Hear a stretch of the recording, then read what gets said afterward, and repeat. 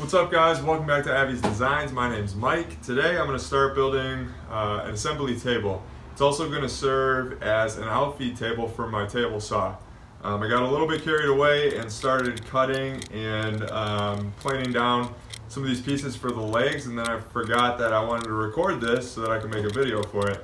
So I got pieces for my legs cut and uh, a couple of the sides jointed and planed. Um, and so I'm going to glue these legs together. We need to let these sit and then I'll cut them to their final dimensions once they're all glued up. So I'm going to go ahead and do that.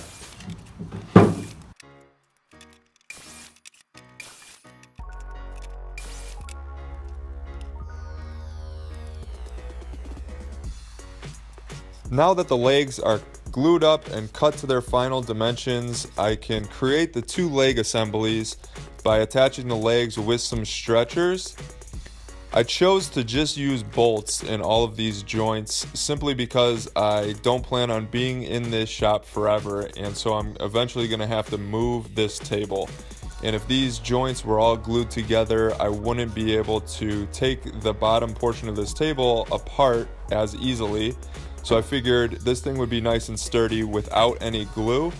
And that, that proved to be the case. After this was all um, bolted together, the entire uh, assembly was nice and square. It's nice and sturdy. I've been using it for a couple months now, and it is uh, it hasn't moved around at all, and it supports all the work that I've thrown at it.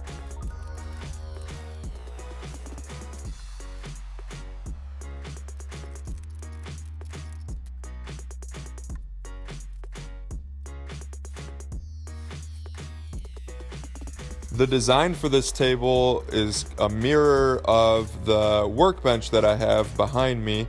Um, that workbench was not my design. This table is not necessarily my design either. It's a pretty common construction, very simple using dimensional lumber, um, but it mirrors that workbench um, design fairly well. So I think they go well together.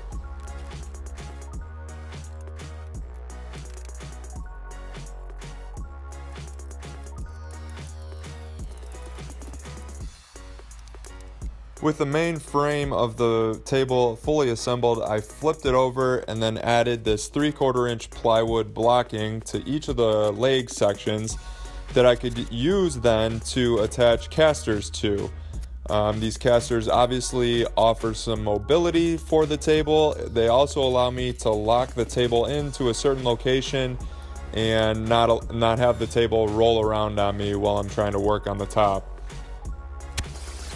After the casters were attached, the next step was to add the shelves. I started with the bottom shelf with since the table was already flipped upside down. Um, I measured the opening and cut some half inch, I believe, uh, half inch plywood to create this shelf. I had to notch out the corners of the plywood so that they would work around the leg assemblies.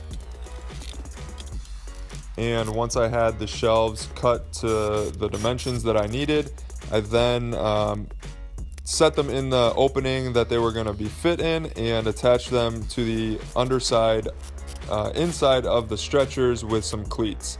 Um, it's a little tough to see here, but you'll get a better view of it in just a moment. I just wanted to make sure that the what will be the top of those shelves is nice and flush with those stretchers.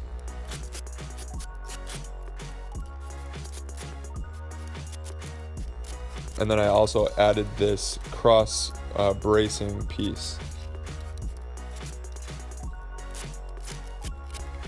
So for the top, I set the top, what will be the top of the um, table on my sawhorses and flip this table upside down on top of the top.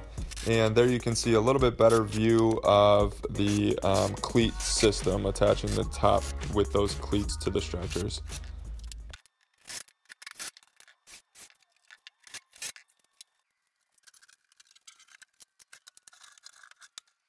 All right, guys, the assembly table is all done.